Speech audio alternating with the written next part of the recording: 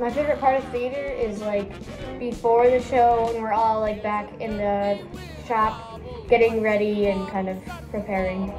My favorite part of theater is hanging out with friends and meeting new people that you don't know. My favorite song in the show is probably Play With Your Fate.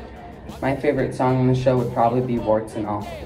Uh, as my first show on the KM stage, my favorite part so far has been definitely making the friendships and relationships and just being part of the uh, drama family. And as my first performance on stage, I'd have to say relationships as well and just being able to experience um, all of this.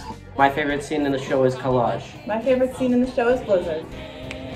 My favorite part of like the character that I get to play right now is the difference in past characters that I've played. I like how the cat is very villainous.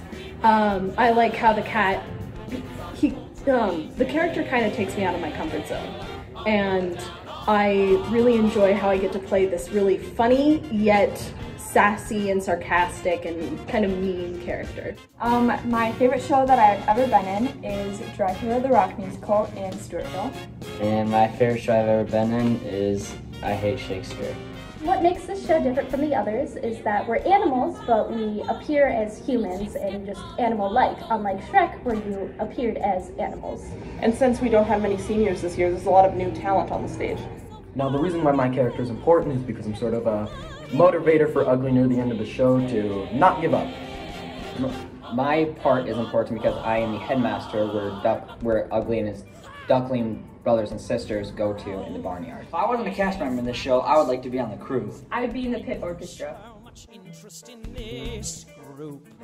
I admit I'm quite a glutton, but this feathered form of mutton wouldn't even make a palatable soup.